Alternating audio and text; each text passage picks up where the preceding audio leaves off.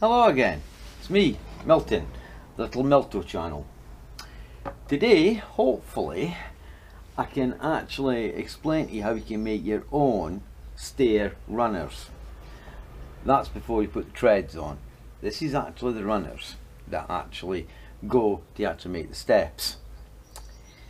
We decided to do our own because we went out, we went to, I'll name them, Wickes. We had a look at theirs because we've got this project going at the minute that we're going to lift the backyard up, you see. And they didn't have quite what we wanted, but we could have made do with what they had. But when we looked at what they had, which was £26 for one, and we were going to need four of them, it was got to be, basically speaking, just over £100. So we worked out by buying the wood ourselves, the three different screw sizes, which again I'll explain later, the glue to do with this, we did the whole lot for just under 60 pounds. And we get what we want. We get the length as well. I don't know if you can see the one over there behind is. I'll just turn it around so you can have a look at that one over there. That one I've actually done. I've been working on it. Because I had to find out what are the pitfalls were going to be on it. I'm just going to look so you can see it a bit better well who knows right? You've seen it now anyway. Move this back again to me. Ah there. There right about a bit more this way right. So we decided after looking at the Wickes ones we'll make our own. Because uh, to be honest with you they weren't that good and we felt as if we could do better and we did. And the only problem we really had was getting the angle just right for the runners because the actual steps go on this bit not this bit. We got confused with the Wickes one we were actually looking at them the wrong way around it's actually the big bit where the tread goes and they they've only got a rise of roughly 2.2 feet 6 inches actually in height. But we actually need a lot higher than that. So anyway we decided we'll make our own. So after a bit of messing about it took me a week to get this far. Uh, quite a lot of cutting, the beams were heavy and of course I was reliant again on my sons and my dad to move things about and get things done. So we've done it so today I'll show you, hopefully, how it was done. I must admit though, I've went a bit OTT with it, but at the same time, I can explain to you the bits. You don't really have to do that, you don't have to do this. So, anyway. So how did we actually achieve this? How did we get this, the angle and everything on here? Well, for a full board, which you'll, you will see shortly, it all came down to 8 inches at the end of the day and that's what we decided on and that's how we got it. So I think now what we should do is we should go now and have a look exactly how we actually achieved it and what we did to get there. As I said all some of the processes like the lunishing down and all the rest of it you don't have to do that. It's a bit pointless. It is for the stair runners themselves and that's what they are. These are the actual runners here that the steps go on to the steps won't be getting built this year that'll be next year. And this year is 2018 and this is January. January. This, this is month this month is January. So it won't be until next year when we finally get everything together because of the cost involved in it. It's quite expensive. But as I said we've done this for just roughly 60 pound just slightly under 60 pound and that was even buying the glue. And the glue wasn't cheap. The glue was tenner. It was this stuff 10 pounds sorry it was this. Evo-Stik wood adhesive and I'm not joking it is absolutely unbelievable glue. It is brilliant. When it eventually go goes on and hardens it more or less makes it solid. Anyway so we'll go in out and we'll have a quick look at how it was done the angles how I cut them and everything setting up the stops and every and all this. So we'll take off now and we'll go and have a look at that then. Now this is how we managed to get the angle right for this. As I said we played about with it for a bit and we decided that if we did it at 8 inches, this is how we did it, put the tape measure on here, grab a little pencil, mark it here at 8 inches there, do another mark for a reason, 8 inches there to tally, and with our trusty square, which might be square, we join the dots making sure that it is square. Now this is the wood we used. I'll give you some measurements off the wood. It was 100, sorry, it was 2, 2.4 meters long. Actually, that's a bit long. That's bit down back a bit. Yeah. There, right, 2.4. I'll give you some width measurements just now. Depth on it was, according to this, uh, that's what, five and three quarter inches there. I know I'm doing this here, I'm not doing it in millimeters, I know. And I suppose you could say it's near enough one, yeah, one and three quarters there. No, I'm not going to do it in millimeters, I'm just doing this quick, right? Anyway, so we set this up in here, we got the line just right how we wanted it. Set the lines there, like so. Then we set up the stops, like so, moving this over, and tightening it down. So all the rest would come out all identically the same. right? So I'm going to go ahead and cut this and I'll just remove the stop out of the way just now. I'll just check, make sure this is in alignment. Are we all plugged in down here? Yeah, we must be here. Right, okay then. So here goes the cut. Let's install recording, everything's going good.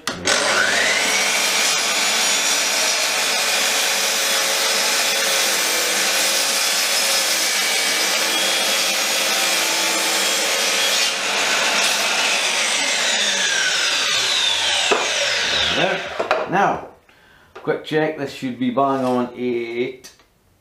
Yeah, slightly under. As per usual, that line always seems to do that. Anyway, don't matter. Then, next thing is, ah, forgot the big long tape measure. Oh well, see if this will do it. No, it's not going to do it. So, really truly, can we do it this way? Yeah, we can. We can do it this way. You go now, you go from corner to corner, which is just going to so do it, like so. Okay, a bit of movement there. Right. So when we went from corner to corner, here, right, but then, I'll mark this the right way around. No I haven't, I've marked it the wrong way around. Of course it has to go that way. Typical, isn't it? so I'll get it. Corner to corner. And we seem to have a fly or a wasp or a bee or something in the cellar. Right. Okay, let's go on that now. Leave that there. Then, with the envious job, we'll try to find it. Now, the two ways you can do this. You can do it this way, if that's what you want and find the angle that way. You see? But what we did was we wanted the angle, we wanted to do it this way. So what we did, what what I've done, dun, dun, sorry, what I've done is I've very quickly marked it up here. Right. So roughly the line should be about there. You then have to remove this out of the way because it's going to get in the way. I know it will. Uh, can I get it out of the way? We don't need this just now. Out of the way. It's not going to go. Right. I'm doing this a bit back to front if you like. Now, then we put this like so. So it was more or less, first of all, we know if we had the angle right or not, which we actually have. First time round got the angle because I marked it with a bit of tape, you see. So we've got the angle move this so it's completely and utterly at centre point. Come on. Right, that now is that centre point with that line. Move it along. Just wants to be slightly more this way. Oh, it is a bit too much. I should do but do it.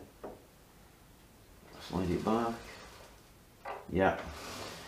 Right, now, once that was in place, we then, again, lock this in. Now the reason is, you've got to put a block here, which is quite tall. If you don't, this arm's so long it can move and wobble about, but if you actually keep it this distance short, you get it. And every single one, once this is set right, every single one after that comes out bang on right. It, it doesn't matter. If you always go to the stop and you cut them, and you've cut them all at 8 bang on 8 inches, they will all come out the same. Now, so I'm going to do now is, is slightly reposition now for this, so you can actually see it. Okay then, we'll switch this off just now. Okay, ready to cut then. Here we go.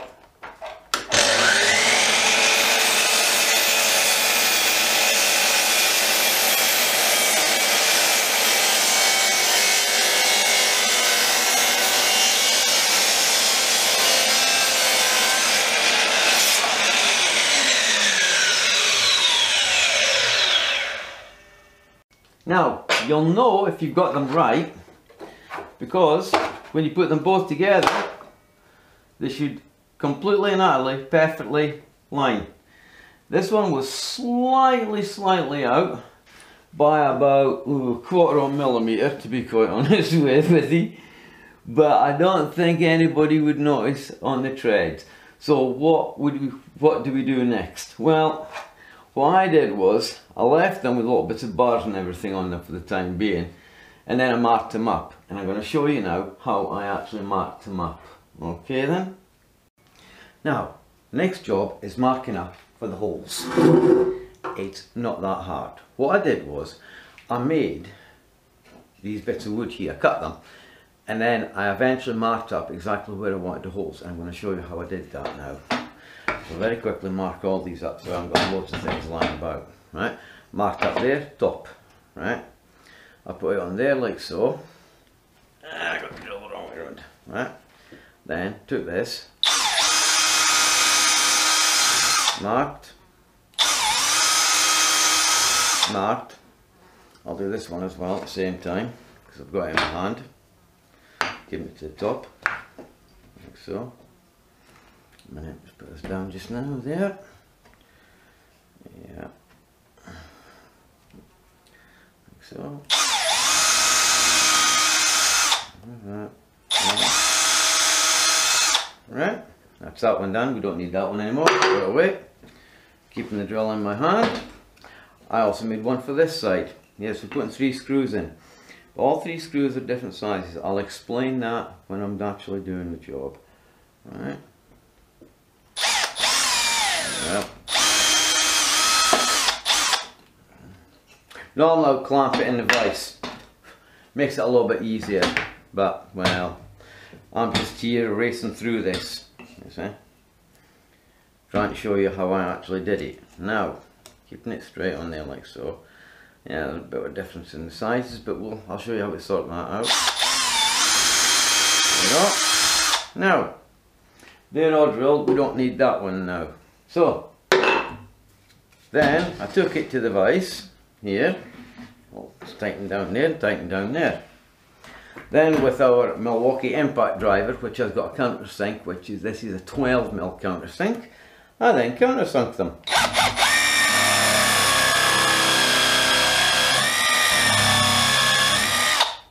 Feeling for the little lip, there it is, it's there, same with this one.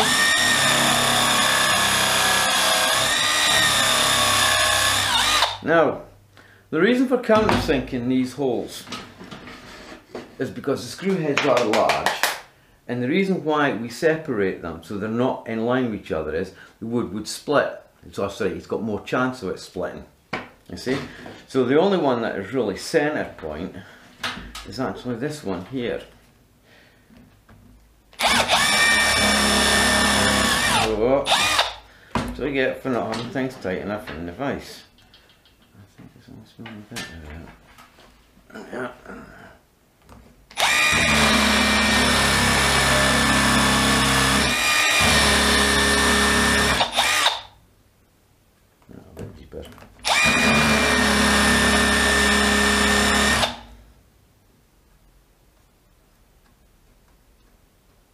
Yeah.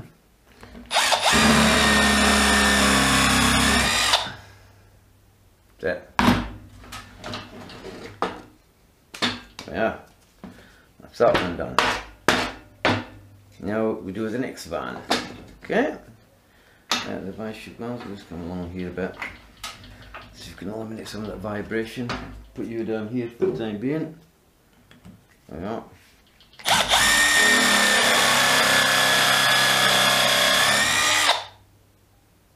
A bit more.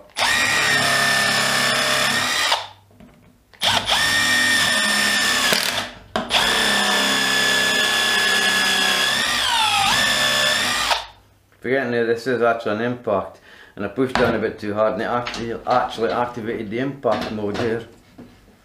Actually makes a great countersinking tool this because it's fast and you know if you're pushing too hard because the impact thing activates on it. Right.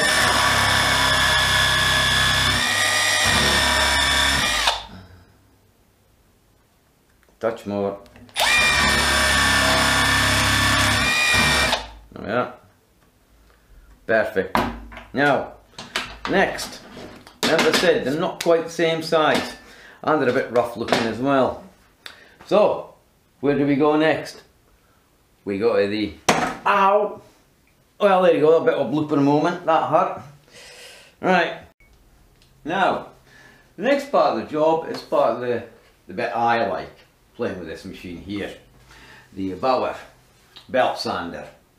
Now we know that one of these is slightly bigger. So we're going to work on this one to get to the same size by rubbing it backwards and forwards, twisting it slightly and keeping an even motion round.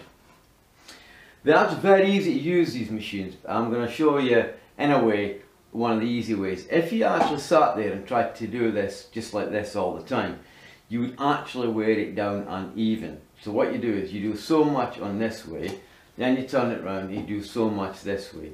And if you move it around as well, about, and keep it moving, don't keep it continuously on the same part of the belt all the, time, all the time. Try and keep even pressure, because if you push down harder on one side, you'll remove more material off the other side. They are a great machine this, but they do take a little bit of getting used to belts, sanders. Of course this isn't, well this is a belt sander right enough. Um, you get the other ones which you hold in your hand, which I've used for years, uh, upside down. I thought it was about time we moved on. Anyway, enough of that, and I will show you how it's actually done.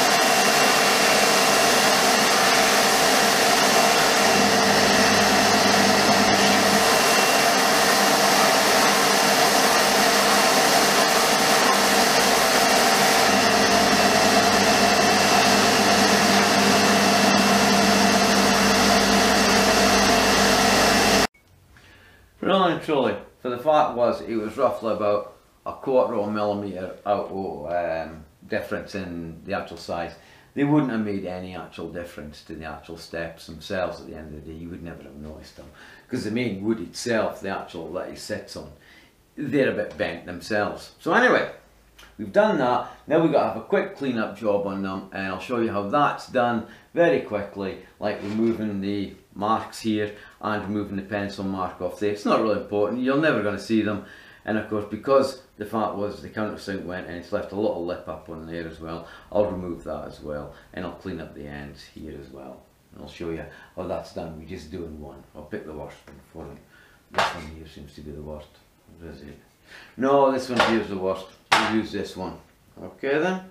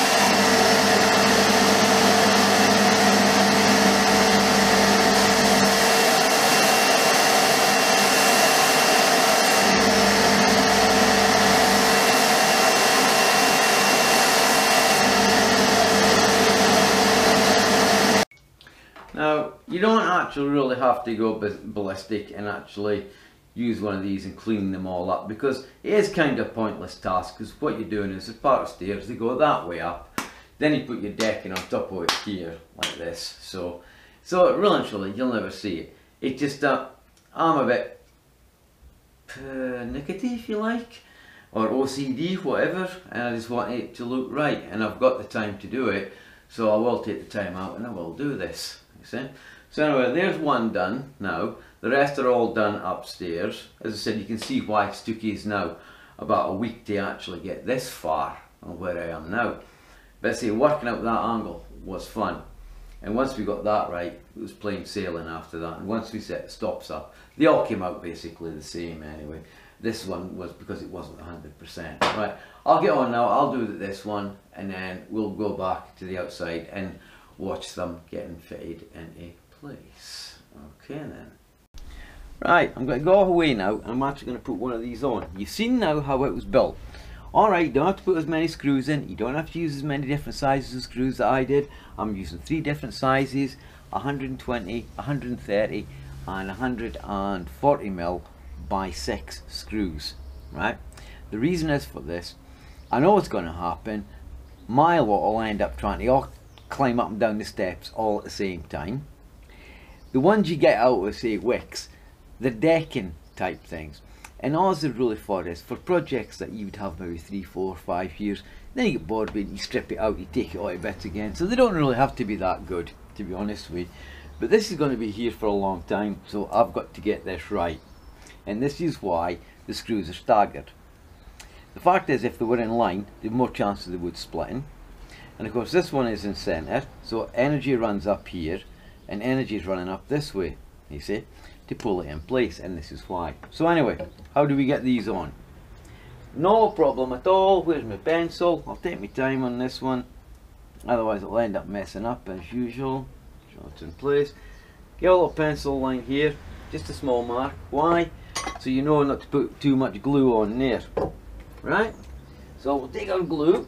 Now little cap off it and believe you me you got five minutes and then that that the glue went off so we take a little run like so coming up here like so stop short there we've got enough on there and put the cap back on, especially in this heat. I'd like to keep it in the shade actually, but I can't. But yes, I can. I'll put it down here. There. Put the glue there. It's in the shade. Now we take our bit of wood, well, it's here, and we place it on as best as we can for the time being because we need our clamp now. I'll put the clamp like this actually today so I'm not actually hiding anything. Move this box out of the way.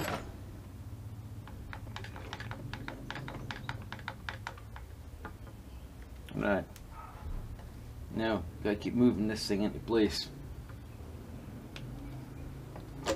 Now, these holes are all pre-pilot holed, but they're not all the way down.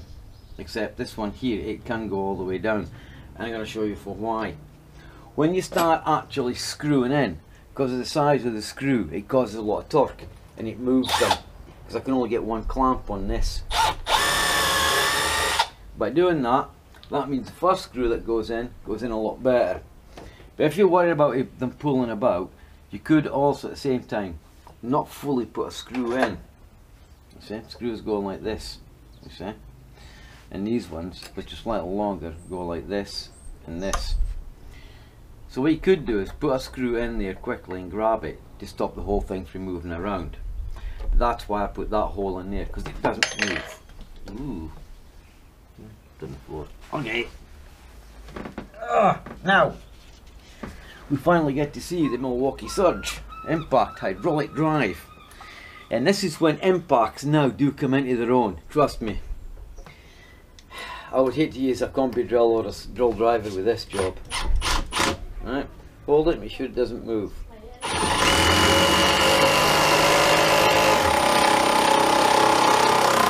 That's it. It's that into place. I know it goes into place because it pulls it slightly. Right where's my hammer? There it is. And it's it again on the floor.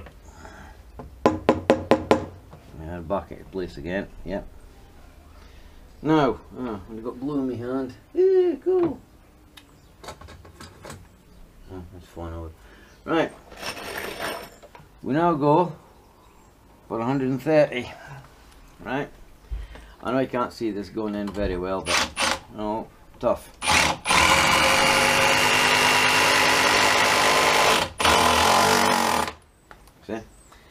And of course the surge very very controllable for these jobs. This is really why we have impacts for doing big jobs like this. And yeah we're all guilty of it. We all use them for silly little screws. 50 60 70 mil.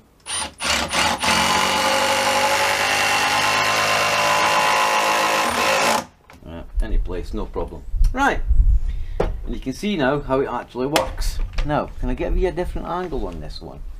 Not really. It's a bit awkward I'll try bringing you maybe across here, I think. We'll see if we can maybe, there, maybe here, coming in. Yeah, tell what I'll do. I'll slide this down a bit because I can. Right. And I'll try it this way. Can I try it? Okay then. Whoa, knocking everything to pot. Right. We'll try something out. We'll move the camera to a different position when I find the little switch. Right. Right. Hopefully this comes out. If it doesn't, tough luck. Right. Pencil lash it to there right so. Small pencil marks we don't over glue because this glue does go off rather quickly. Get the glue.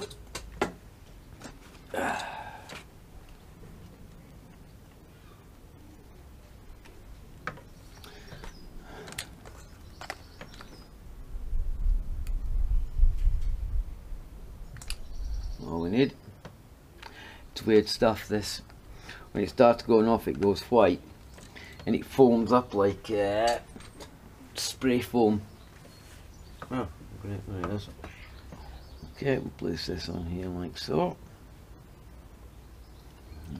-huh. touching up here and there like that. It's got to be a bit awkward this one because it's not quite sitting right. I don't know why. Right clamp.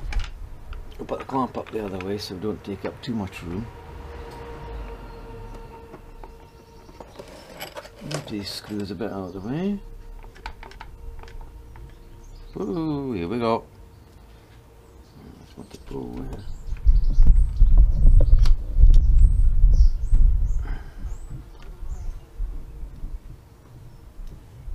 No, we're not straight. There we are. As I said, it's awkward just using one clamp. Two clamps would be better, but how do you get two clamps on it? You can't.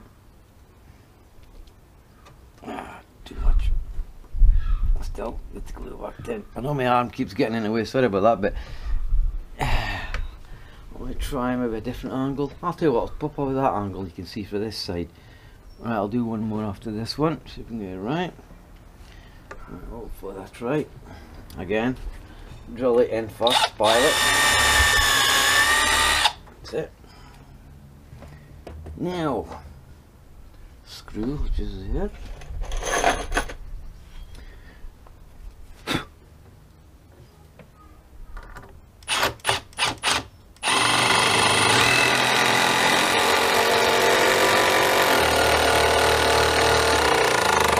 Yes. And it moved it again. Or has it moved there?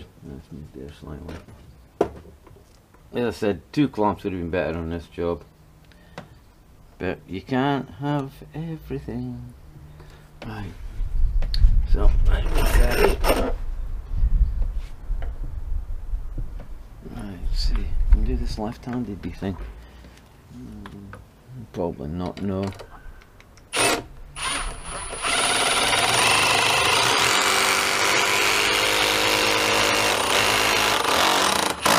Whoop.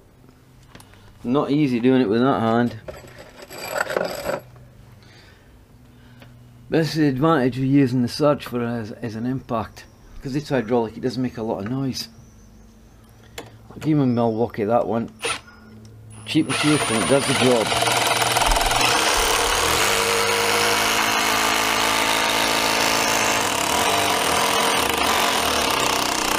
Yeah, any place. Right.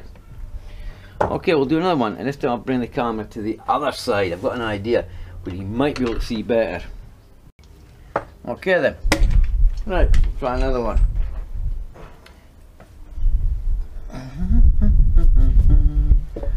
Right, same story again. Quick little mark. It doesn't have to be a great big thick mark. If you're only marking it to make sure that you don't over glue. I mean that one there's got glue coming out of it. It's actually surprising as well how actual squint some of these blocks actually are. I mean in the sense how uneven they are. I'm used to working in steel and steel far better material. Mind you, I'm not going to say you can't get warped steel either. You can. But generally we can straighten it out. But wood, well, it would take too long to try and straighten it and level it. You'd need a proper plane and machine and everything for it. It's not worth it. Just live with it. It is only for the runners, for the stairs or steps for your decking. I said I'm only doing this to actually show you how easy it actually is and you can save yourself some money. You could use any type of saw. You could use a jigsaw. You could use a circular saw. You could use a hand saw if you're really that way inclined. Do it like my dad likes to try and say, oh come along it with my saw. Yeah, your hand saw. Yeah, I keep telling him I don't think so. There's not much point in him spending all that money buying me saws to use, right? And then him wanting to use a handsaw. He just does it just to annoy us. Best myself, I think he sounds a bit daft, but. Right then. Oh, what I forget, drilling the hole. I'll put this just now so don't run away. I tell you what, this weather is lovely.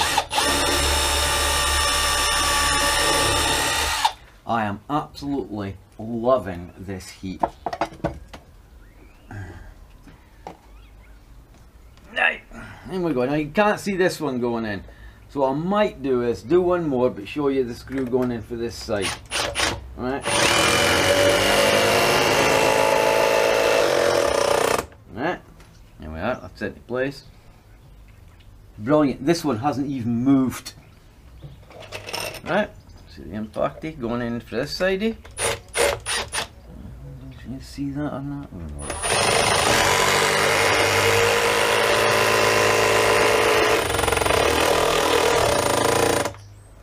Oh, oh, a bit more. Yeah, be careful. If you over tighten these, you will split the wood. You're right on the end here. This is why I'm using too.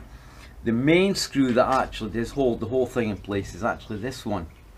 Because if you think of it, when it, you're looking at the runner, when the decking's got to be on it, that screw's got to be in there like that. And you're trying to pull it away. You see? You're not going to do it.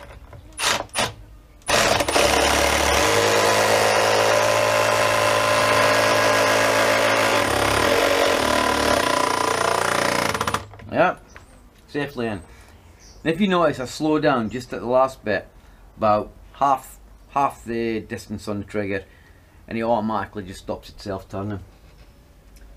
So, there we are. So I'm going to move this now to a different position and bring you around to maybe this side to have a look at it. Can we do that? Well, let's try.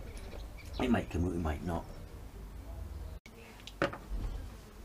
Right, leave that there. Grab another one of these pop this on here little pencil mark believe you me that's all it takes nothing fancy now glue.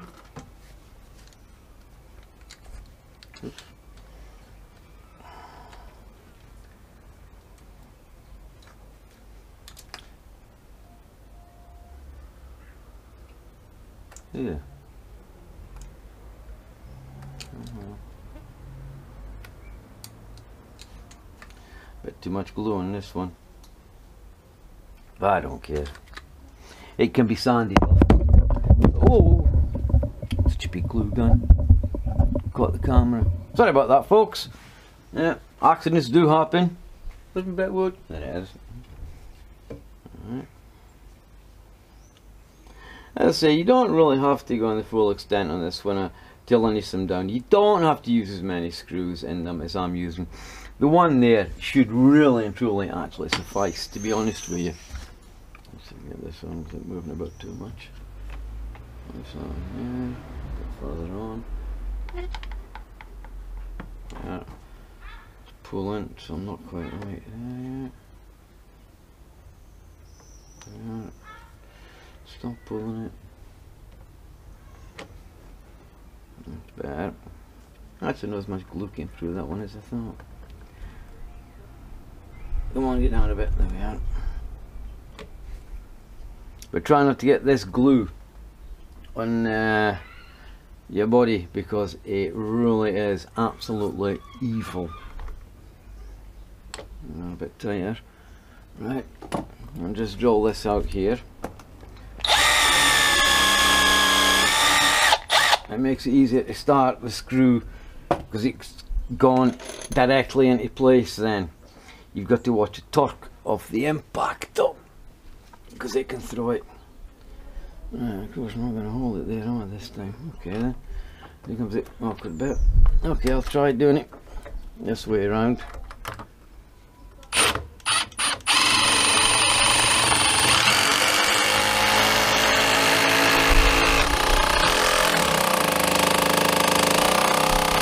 There. Please and he hasn't moved. Brilliant. Okay let's go on with the others okay this is 130 mil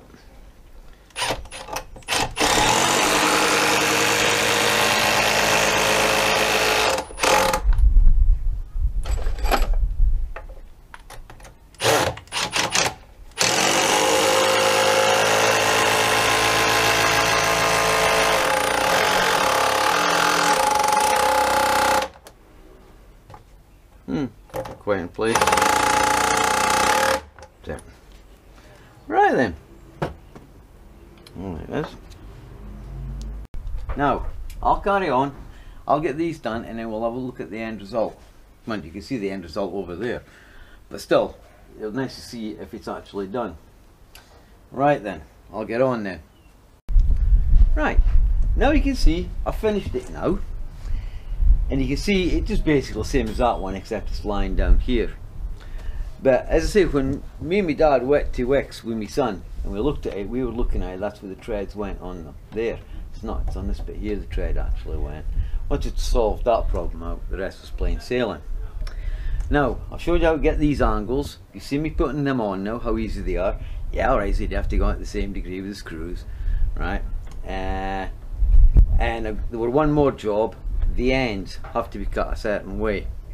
That end along there is cut at 45 in other words you take that end along there you mark that distance there along there and you actually cut that piece off along there. I'll show you in more detail.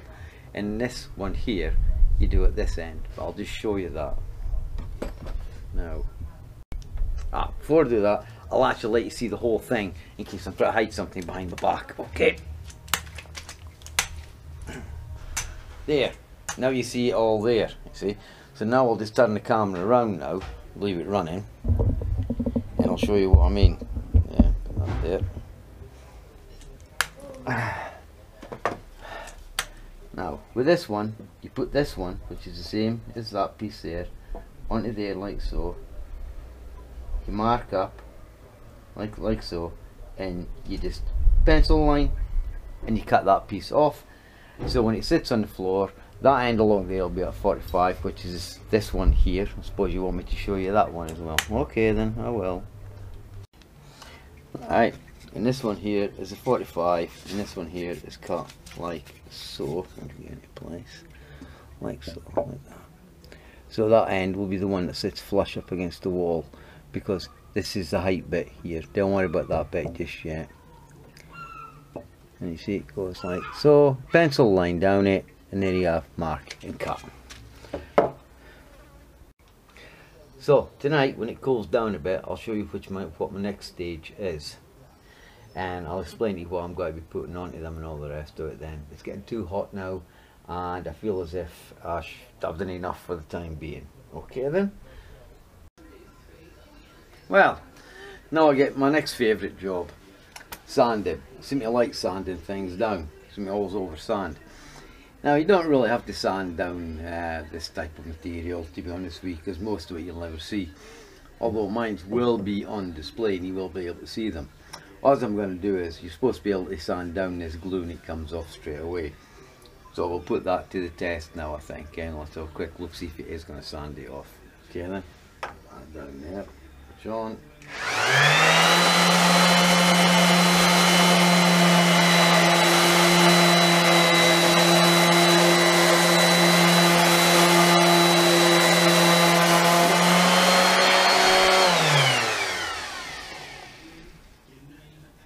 yeah it does sand it down. But it leaves little holes though behind in it though. Because it's kind of like um, it's like that foam spray you get in a tin you put on. This stuff's sort of similar to that if you get residue it just it bubbles up like that. Anyway I'll get on I'll give this a quick sand down alright and we'll see how we go for there then okay? Now see this is an, another process you don't really have to do but unfortunately mines are going to be seen the way that I'm going to be doing this.